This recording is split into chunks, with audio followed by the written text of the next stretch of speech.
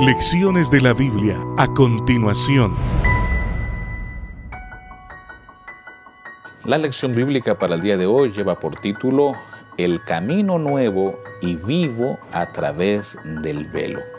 Vamos a Hebreos capítulo 10 versículos 19 al 22. Así que hermanos, tenemos libertad para entrar en el lugar santísimo por la sangre de Jesucristo, por el camino nuevo y vivo que Él nos abrió a través del velo, esto es, de su carne.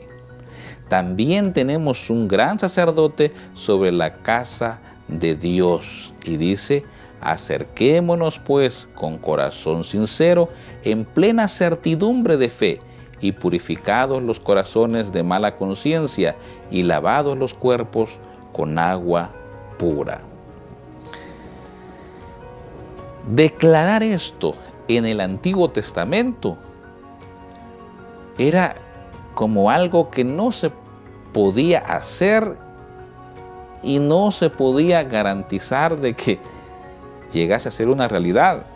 ¿Por qué razón? Porque ya conocemos nosotros el orden que se daba allí en el santuario. Ya lo hemos escuchado, lo hemos repasado también.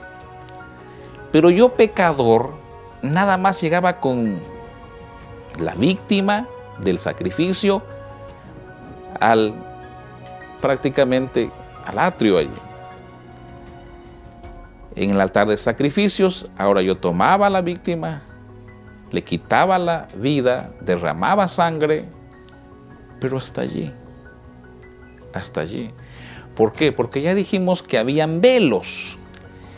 Y ya en el segundo velo que había, que era para entrar al lugar santo, ahí entraba el sacerdote. Y ya el otro velo, que era el que dividía el lugar santo del lugar santísimo, entraba el sumo sacerdote y una vez al año. Entonces declarar que un pecador podía entrar hasta el lugar santísimo era como, no, eso no puede ser. Pero acá Hebreos, en el capítulo 10 eh, y el versículo 19, está diciendo esto. Así que hermanos, tenemos libertad para entrar en el lugar santísimo, pero da por qué nosotros podemos hacer eso. Da la razón por la sangre de Jesucristo. Y explica más, por el camino nuevo y vivo que Él nos abrió a través del velo. Esto es, dice, de su carne. Entonces, gracias a qué nosotros podemos acceder hasta el lugar santísimo. Algunas consideraciones nada más gracias a que Jesús es nuestro capitán y nuestro precursor, dice Hebreos 2.10 y el 6.19. Número 2, gracias a que Jesús es el camino nuevo y vivo. Por eso podemos. Gracias también a que Jesús ha provisto el perdón de los pecados a través del sacrificio que Él hizo. Por eso nosotros ahora podemos entrar hasta el lugar santísimo. Gracias a que nuestro sumo sacerdote, quien es Jesús, entró con su propia sangre. Y si Él entró con su propia sangre y Él nos invita y nos dice, pasen, podemos pasar. Gracias también a que ese sacrificio, cuando fue presentado ante el Padre, fue aceptado.